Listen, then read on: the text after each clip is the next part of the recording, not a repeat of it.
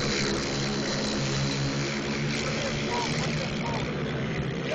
Right out of the corner. He pulls him. Man. He really, if he gears that thing different, beat him a lot.